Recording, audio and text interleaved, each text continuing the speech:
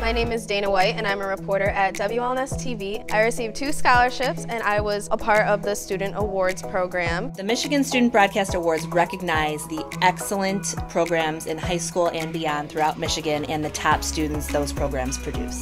The MAB Foundation is more than just scholarship, it hosts educational events throughout the year for students and professionals. I actually met my current boss at the Broadcast Career Builder Conference in Lansing. MAB members volunteer at many of the foundation's events and they love to talk about the passion that they see in the kids' eyes for the field of broadcasting. And with contributions from members, we're allowed and able to put events like these on. The foundation is your chance to help give the next generation their chance. The MAB Foundation is proud that 100% of the funds donated go towards educational opportunities for young people. They can't exist without financial support. Please consider giving a donation to the MAB Foundation. Join the many broadcasting professionals that have donated to the MAB Foundation. Just contact the MAB offices to get started.